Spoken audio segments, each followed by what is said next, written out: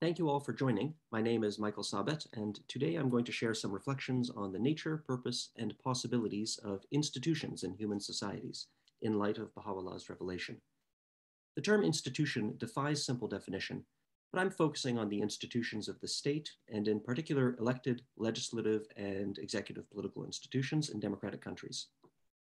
The talk is called Institutions and the Problem of Trust, a Baha'i perspective on the premises of multi-party adversarial democracy.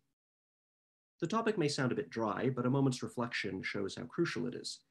If you think about any crisis currently facing the human family, it's clear that all three of what the Universal House of Justice has called the three protagonists in the advancement of civilization individuals, communities, and institutions have a role to play in addressing them. And if we think of very big picture problems, armed conflict between states, mass movement of people, and above all, the climate crisis, it's clear that we don't just need institutions to hold the line, to keep the lights on and the trains running on time. We need them to advance rapidly in their ability to deal with ever changing, ever complexifying problems. And we also need institutions to do this at all scales, from the local to the global. Unfortunately, our collective, our collective level of trust in institutions of all kinds is dangerously low, if not in absolute terms, then certainly relative to the enormous undertakings that are needed in the years ahead. And finally, people generally feel fairly impotent to do anything to improve their institutions. So the goal for this presentation is to contribute to our capacity to engage in discourses that deal with institutions and their relationship to individuals and communities. The hope is to reflect the hope is to help us reflect on what particular strength a Baha'i understanding of institutions brings to current problems, and how this view connects to and can be shown to resonate with other views. During our discussion after the presentation, we can also hopefully begin to think about how we might respond to well-meaning objections or concerns about a Baha'i approach to institutions. The presentation will proceed in two parts. First, I'll very briefly outline what I understand to be the dominant framework for thinking about democratic political institutions within the nation state. I'm calling this framework multi-party adversarial democracy, or MAD for short. It's multi-party because, with certain exceptions at the margins, essentially every country that makes political decisions through means that we would recognize as democratic does so through a party system.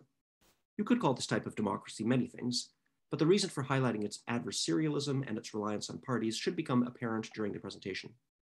Since this form of government originates in the West, broadly speaking, this first part of the talk will deal with some political theory in the Western tradition, though I try to limit the number of names and quotations to streamline the presentation. In this first part, I'm going to suggest that some problems with how these democratic institutions are working today are directly connected to the premises on which they are built. This part is going to be very brief because of time constraints, and it will leave out a lot of nuance and detail, but it should be enough to ground part two, which will look at a few possible alternative frameworks that could plausibly address some of the problems with the mainstream MAD framework. These are deliberative democratic theory, Gandhi's political thought, and a Baha'i conception of institutions, as I understand it. As always, all of the material on uh, Baha'i conception is entirely my own understanding, uh, which uh, so you can take it for what it's worth. This talk is based on a much longer paper, so I'm necessarily glossing over concepts very quickly and omitting references, but hopefully our discussion together will be a chance to go deeper into whatever is of interest. So I'm going to suggest that multi-party adversarial democracy, or MAD, creates a dysfunctional relationship between institutions and individuals. Now, you may not find that a very controversial idea, but if we focus on the conceptual roots of this problematic relationship, we may be able to see both where change is needed, but also why there may be well-founded resistance to such change. As I mentioned, this part of discussion, the discussion has to be brief, so rather than trace the genealogy of modern democratic politics, I'll shorten the discussion by using a single quote as a lens to explore the issue. The quote is from James Madison, one of the authors of the Federalist Papers, which were a series of essays intended to rally public opinion behind the proposed Constitution of the United States. So in Federalist 51, Madison has a very pithy quote that captures quite a bit about the premises that mainstream ideas about modern democracy rest on. He writes, but what is government itself but the greatest of all reflections on human nature? If men were angels, no government would be necessary. If angels were to govern men, neither external nor internal controls on government would be necessary. The first sentence tells us that our ideas about institutions ultimately rest on our understanding of human nature. Now, this is crucial. If our understanding of human nature shifts, then institutional designs that seemed absolutely logical can suddenly seem quite odd. The second and third sentences highlight two premises underlying the mainstream conception of polit political democracy. They're distinct but related. Very briefly, the statement, if men were angels, no government would be necessary, conveys a belief about human nature. Humans are not angels, and we cannot expect them to become angels. It also tells us what we think the role of institutions is. It's to manage the fallout from us not being angels. Without going into detail, it's important to note that this view is quite a departure from more traditional conceptions of the human being, not only in Western philosophy, but globally. So you can consider that in their own ways, Plato and Confucius, as just two examples, both put the idea of the moral improvement of the human being at the very center of the political project. But starting at least with Machiavelli in the West, the view that moral or character improvement has no place in the political project began to grow much more influential. So even Immanuel Kant, for instance, a philosopher who is very much concerned with questions of morality, writes that the constitution of a republic should be designed to create order even for a nation of devils. So this gives us the first premise of institutional design in MAD that we want to highlight. In designing institutions, human beings are assumed to be non-perfectible. The third sentence, if angels were to govern men, neither external nor internal controls on government would be necessary, speaks to the premise that power corrupts. The Americans saw their task as designing a political system in which those who wielded institutional power would be held in check from abusing it. Madison's internal controls can be mapped onto the particular separation of powers in the American system. These aren't found in exactly the same form in all modern democratic systems, but internal controls also include the Bill of Rights, enforced by an independent judiciary. And this is a feature of pretty much every liberal democracy today. But the external controls are going to be what I focus on here. This is the role of the democratic process itself. The people have an institutionalized right to vote every few years and this gives them a chance to kick out rulers who have been abusing their power. So the second premise holds that in a democracy, because our leaders will not be angels, we can't really trust them. We have to control them. Since distrust is normal and expected, we incorporate distrust into political institutions themselves. We set up rules to channel and express distrust without destabilizing the system. Because the people's role in democracy is simply to periodically choose their leaders, their main political action, voting, is precisely a chance to express trust or distrust. Political scientists have highlighted the role of parties here in particular. An opposition party, by opposing the ruling party at every turn, can both foment distrust and provide a means to channel it. The opposition's message, in effect, is just vote for us and we'll fix the problems. So one party tells us to direct our distrust towards the other party and vote them out of office. Now, I'm not arguing that voting is a problem per se.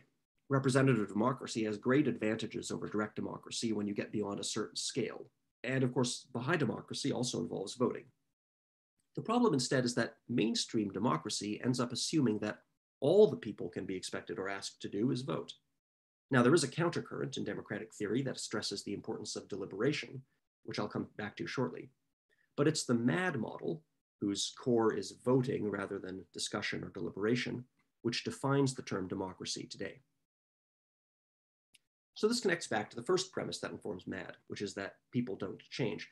They're both non-perfectible, as we discussed. They can't be expected to improve their characters, but their views are also fixed. They can't be expected to change their minds.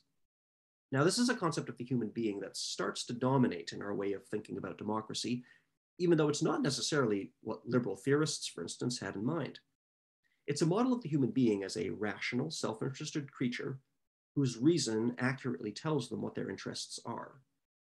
This is a view that we often associate with economics, even though it's a caricature of how many economists themselves think of human beings. But it's arguably powerful, not because it's inherently true, but because it can be made to be true through feedback loops in our socio-political and economic systems, which is something I'll touch on in a little while. Ironically, the conception of the individual in MAD as an autonomous creature whose reason points them to their self-interest places a hard limit on how much power the people can actually hold. They have only the meta power of choosing those who will rule. As atomized individuals, they cannot be empowered because they cannot come together to advance their understanding and take collective ownership of decisions. In short, the demos in a modern democracy is not conceived of as capable or even motivated to discern the public good. This can be deduced from the theory set out above, which was covered very briefly, but it's also confirmed in practice by the lack of spaces, mechanisms, and resources provided for the people to deliberate in most democratic systems. So in between periodic elections, citizens are reduced to the role of spectators cheering on their team. And what results is a vicious cycle. Citizens of whom little is asked do little, further confirming in the eyes of political actors that little can be asked of them. This dynamic only gets worse once the impact of political parties is factored in. Parties are ubiquitous in democratic political systems to the point that while they're absent from most of foundational democratic theory, and they aren't enshrined in most democratic constitutions, it's impossible to explain modern democratic politics without them. I won't go into any detail here about all the problems that partisanship gives rise to. I'll refer you to Michael Karlberg's essay in The Baha'i World, which has a great high level overview of the pathologies of political parties, and also Simone Weil's essay on the abolition of all political parties. The only two points that I want to mention for our purposes are uh, relate to how, on the one hand, parties seem to be necessary given the two premises of MAD that we've looked at. But on the other hand, they don't end up acting in quite the way that the MAD model suggests that they ideally should. So let's look at the first premise, since the people can't be expected to deliberate and change their minds and agree on things, we need parties to aggregate and champion similar views and turn them into policy. This is a practical problem, a coordination problem, and it's part of the reason why parties emerge even when constitutions don't seem to have a place for them, as in the example of the United States. But there's strong empirical evidence to show that what parties often end up doing is not aggregating existing views, but instead driving those views directing, and even creating them. So a handful of parties carve out positions based at least as much on strategic considerations as on ideological conviction or commitment to good policy. And then people's party identification shapes their views on the issues to conform to those of the party. So the party reinforces the dynamic by which ordinary people do not deliberate. They just vote to choose from a menu of options that they don't really contribute to creating. Uh, the recent uh, book, Democracy for Realists, which I highlighted on the last slide as an excellent discussion of this phenomenon. Now, as for the second premise, uh, which is that those in power should not be trusted with it, in theory, the party helps turn the distrust of many individuals into a force that can be used against those in power to hold them in check. I mentioned earlier that democracy can be conceived of as a healthy way to channel people's distrust of those in power. There's mounting evidence, however, as to how easily multi-party adversarial democracy can end up fomenting radical distrust of the very structure of the state. Populism is one way in which this occurs. The populist leader tries to convince voters that only they can save them. And they do this by arguing that the system itself is corrupt and flawed. So instead of this, which we saw before, where one party directs the people's distrust against another party, you get this radical distrust, where a political actor directs the people's distrust against the system itself. And that can result in weakening the constitutional order. And I'm sure you can think of recent examples from around the world where individuals or parties have found it strategically effective to whip up distrust in things like the election process itself, rather than just directing their antagonism towards other parties. So here we see MAD's potential to undermine the very constitutional system on which it rests. If I had more time, I'd discuss another kind of trust which MAD can tend to erode, which is social trust, or people's trust in strangers. By accentuating division, MAD can contribute to eroding social trust, in effect tearing the social fabric that institutions rely on to be effective. But unfortunately, we don't have time to discuss that in detail.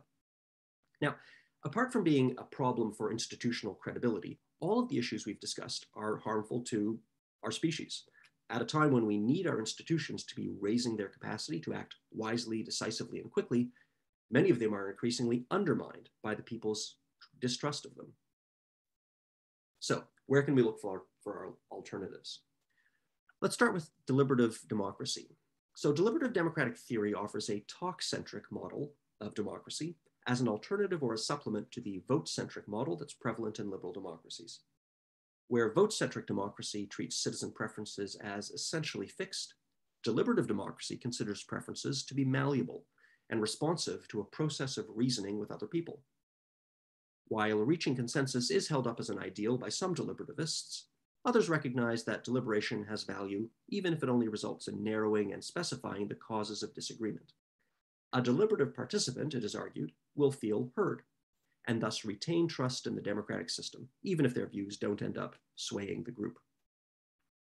Now, in spite of a sophisticated literature and a wealth of experiments and experiences with deliberation around the globe in a variety of spaces, deliberative democracy lives very much in the shadow of mainstream vote-centric MAD, which the deliberative literature refers to as aggregative democracy. Indeed, adversarialism and the conception of the self-interested competitive human being that underpins it has a hegemonic hold in much of the world. To explain this, we can use the concept of life, world, and system, as employed by the philosopher Jürgen Habermas.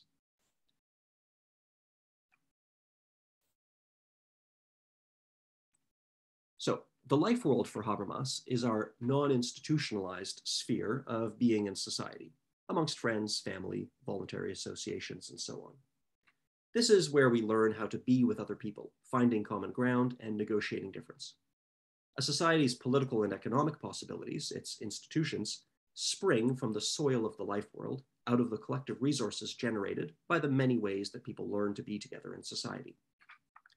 This more formal institutional dimension of human life, Habermas refers to as system. Now, the global life world is not a monolith, but over time it is arguably becoming increasingly shaped everywhere by what Michael Karlberg has called a culture of contest. Enlightenment theories of human nature as rationally self-interested inform the structures and institutions of modern societies and shape our expectations of how to organize our social lives generally. Now, this is not to say that cooperation and altruism do not exist in our life world. However, Habermas points out that while the life world is the seedbed of institutions, institutions in turn shape the life world. Specifically, the political and economic systems of capitalist societies tend to colonize the life world over time. As norm-free commercial transactions and state-imposed administrative structures come to replace intersubjective relationships in people's lives, the scope for individuals to exercise their capacity to intersubjectively negotiate mutual understanding shrinks. So what does that mean? Well, let's think about an economic example for simplicity's sake, grocery shopping. In many places over time, uh, or sorry, in many places over the past few generations, we've gone from growing our own food, often communally, to buying food from the people who grow it, to buying food from a middleman, our local grocer, to buying from massive chain grocery stores, and now to using automatic checkout lanes or even ordering all our food online. The scope for us to communicate with other human beings by drawing on our cultural resources to approach this transaction around food has shrunk and it's come to be defined by the logic of the system. As a result, our collective imagination about how things might be done becomes narrower and narrower, as we have fewer examples of other ways of being together to draw on. As another example, even though our societies are more diverse in some ways than ever before, it's possible for us to live increasingly monocultural existences, to the extent that we allow our media, for instance, to be selected based on what we already believe. It's possible to live today in such a way that we either don't interact with people who significantly disagree with us, or we only interact with such people in non-deliberative ways, for instance, through protest, online shouting matches, and so on. In other words, our competitive economic and political institutions select for and reward the competitive traits of individuals and groups. The democratic state, along with the capitalist economy, end up helping to create the very type of human being it anticipates, isolated, competitive, individualistic. So what does all this have to do with deliberative democracy? Well, the prospect for growing deliberative institutions from the ground of our life world are arguably bleak. The, soul, the soil may just be too sterile. An enthusiastic political scientist or an activist organization might create a deliberative space, but creating a culture of deliberation is going to feel like swimming upstream a self-sustaining deliberative democracy has to draw on resources from the life world. A deliberative political culture must be rooted not in people's rational self-interest, but in their subjective self-understanding as people who deliberate. And this would have to, has to be drawn from shared cultural resources. So if new kinds of democratic institutions are to be sustainably built up, they're going to have to root themselves in life worlds that operate on logics quite different from the adversarial partisanship that structures our current systems where might, uh, where might we look for such life worlds? Well, before looking at the Baha'i example, I'd like to briefly discuss Gandhi for a couple of reasons. First, Gandhi's political thought and practice had enormous impact in the 20th century and beyond, and they're considered by many to be a credible alternative to the kinds of politics that prevail today. Secondly, they share some very important features with a Baha'i framework, but they also help highlight what's distinctive about a Baha'i framework. So if we want to learn about contributing to discourses that discuss institutions, being able to connect to Gandhi might be very helpful. Now, it should be said that uh, the political thought of Gandhi may seem like a bit of a strange place to look when thinking about institutional reform. Gandhi proposes that the way forward to a better political order doesn't lie in institutional reform or in institutions at all, but in the reformation of the human heart. But this also makes Gandhi useful because he's a credible, well known thinker who, in the context of modernity, and not ancient thought like Confucius or Plato, radically refutes the first premise of MAD, which we saw, the non perfectibility of the human being.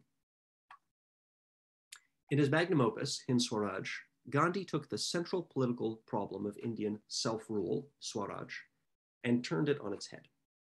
He argued that achieving mere political independence from Britain would simply mean substituting the people's British political masters for Indian ones.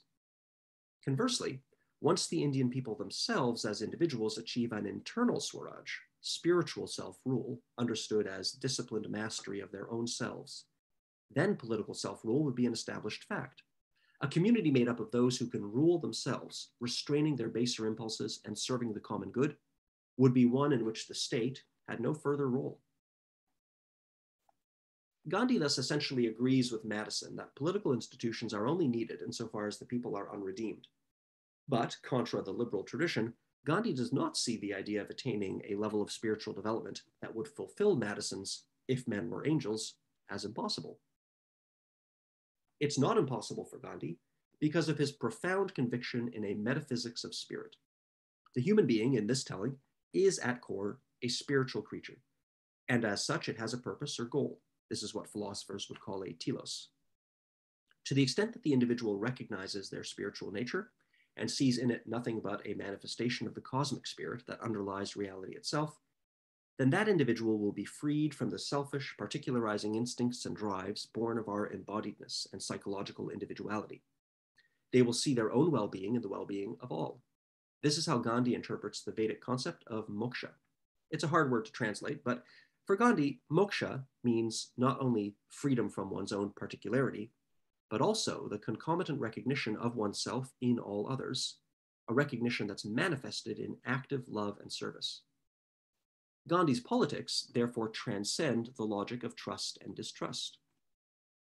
So let's consider the difference between trust, as we commonly understand it in the vote centric context of MAD, and the kind of altruistic regard for the other, love born of moksha, that Gandhi believes is the fully attainable foundation of a sound social organization. Trust is essentially passive. Love is involved and active. Trust can be broken when the other acts against one's interests. Love perseveres even when it is injured, and it points out mistakes in order to help the other improve, not out of self interest. Finally, where trust can be conceived of as an endpoint, a state reached often only after painstaking trust building, love looks to the future. It sees potential in the other and wants that potential to be realized for the other's sake. Indeed, a love born of moksha transcends the concept of self and other, whereas trust depends on it. Moksha may seem irrational from the perspective of rational self interest, but it simply rests on a different, expanded conception of the self. If you, I, and everyone are simply different expressions of something that is more fundamentally one, then this kind of altruistic love is the only rational condition.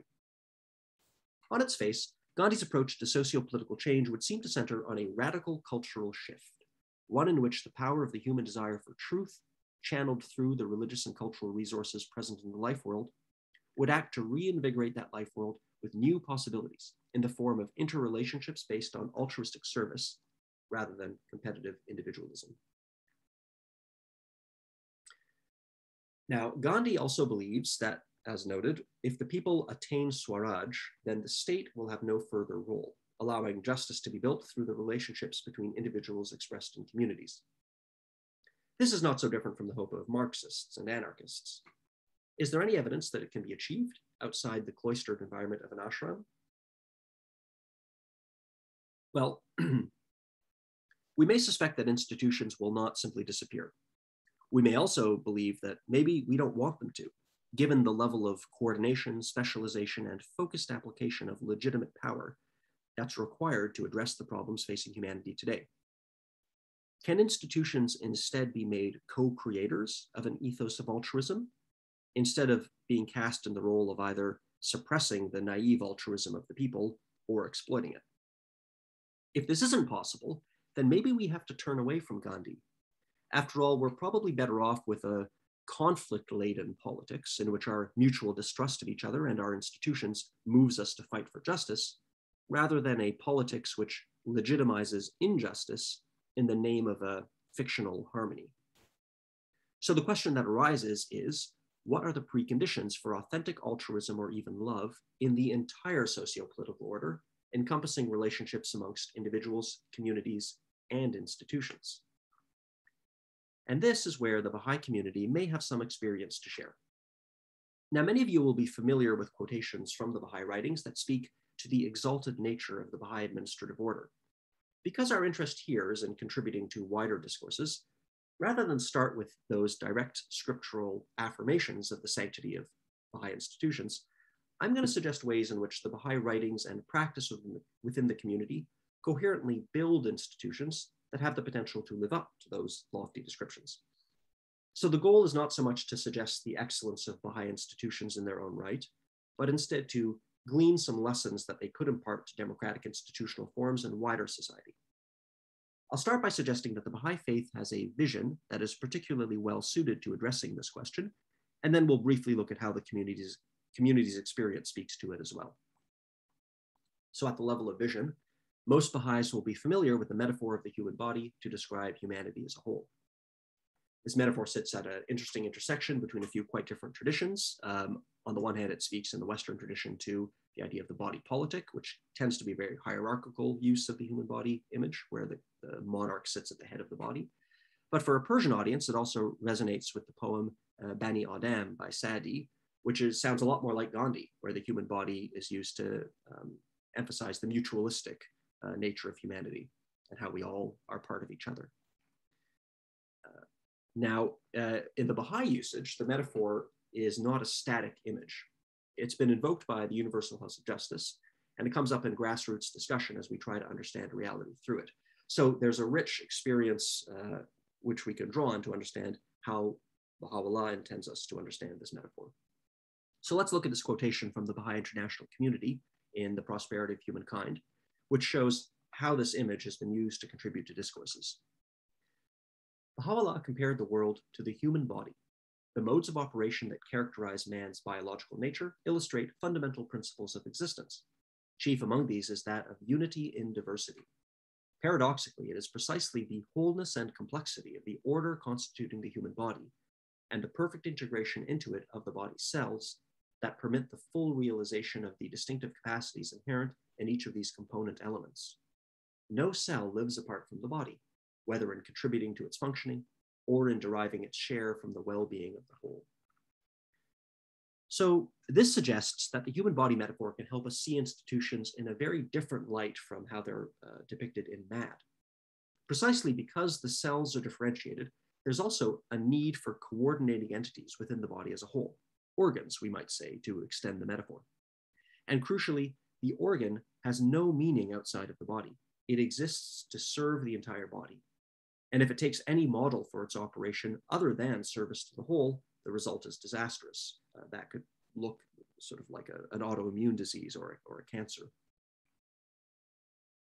So in the Baha'i understanding, institutions do not simply fulfill the essentially negative role of making up for the imperfections of human beings themselves, as Madison thinks, because this is a role that would theoretically diminish as uh, a community's uh, spiritual perfection progresses, which is what Gandhi thinks. Instead, the institution has a positive role. It makes contributions to the common good that individuals and communities, however advanced, cannot make. Further, it's in a relationship of reciprocal improvement with individuals and communities. None of them can progress towards the ideal without the others. Um, and this is a, something of a point of departure uh, from Gandhi. It also points to another dimension of the Baha'i paradigm, which is historical consciousness.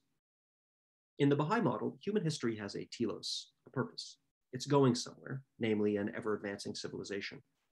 The goal of humanity is thus not to reach a state of static perfection, which is a condition impossible on its face in the organic context of the human body, but a condition of progressive growth, betterment, and refinement. So uh, recall that in, in Gandhi's thinking, the individual's progressive achievement of self-rule is inextricably linked to an attitude of service to others acted out in their own lives. In the Baha'i context, this attitude of service is combined with the metaphor of the human body and with a progressive view of history to lead to a particular kind of mutualistic relationship between individuals, their communities, and institutions. Specifically, service in this context looks like mutual capacity building. The individual and community see their institutions as nascent, organically growing, and in need of active engagement with the citizenry in order to increase their capacity. So in this vision, while the distinction between life world and system remains meaningful for some purposes, in other words, the state does not disappear as, as Gandhi might think, the radical tension between them disappears. The system does not pursue goals distinct from the well-being of the whole and each of its parts. The Baha'i model has what we might call vertical integration. Because the community has its own unique institutional framework, rooted in the socio-religious life world of the community and animated by the same spiritual norms governing human relationships, the system does not colonize the life world, but instead exists in a symbiotic relationship with it. The altruistic dynamics between individuals, which Gandhi sees as central to political reform, are extended to and between individuals, communities, and institutions. The attitude that becomes possible here is one in which the individual does not love her administrative or political institutions out of naive allegiance, uh, nor does she distrust them by default. Instead, she sees the institution as the collective project of her community. It's a thing that they are actively nurturing and helping to develop. The institution understands itself in these terms as well. Institutional actors adopt humility and a posture of learning in their official capacities, recognizing that they're only at a certain stage in their organic development. And the institution also takes responsibility for nurturing its citizens' capacities. They do this through elicitation, not coercion. I'll close by considering how this vision operates in practice within the Baha'i community and the administrative order. Most listeners will have some familiarity with the broad features of the Baha'i administrative order, so I'll be very brief. And I'll start with the caveat that Baha'is recognize that this order is still maturing. Uh, Baha'is try to approach it in a spirit of learning, not expecting it to be perfect, but focusing on how it can grow organically towards the ideal vision for it, which the Baha'i writings present. So the administrative order's design shows how, on a practical level, it rejects the two premises of MAD, which we saw. Let's first consider the second premise, which is uh, dist that distrust of institutions is rational. The administrative order has features of a representative democracy, but it's one which is explicitly non-adversarial. There's no campaigning, nominations, or parties. In short, power seeking is curtailed both by formal rules and by the norms which the community tries to uphold. Further, no elected individual has any personal authority at all in the community by virtue of their election. An assembly can only make decisions as a body, and the institution has a completely distinct identity from the individuals elected to it at any time. So the assertion that distrust doesn't need to characterize our relationships with institutions is not simply naively asserted. Instead, the institutional design is deliberately calibrated to avoid giving any avenue for a person's ambition to express itself. This design arguably addresses the fear of tyranny or abuse of power preemptively, rather than relying on constitutional checks and the power of the people to vote someone out, although the latter does remain possible, of course. The global cohesiveness of the administrative order is arguably only possible because of this uh, institutional design, a design that gets us away from distrust as a default. So for reasons of scale, the administrative order relies on a delegate system for national and global elections uh, direct elections without nominations at these scales would be very challenging.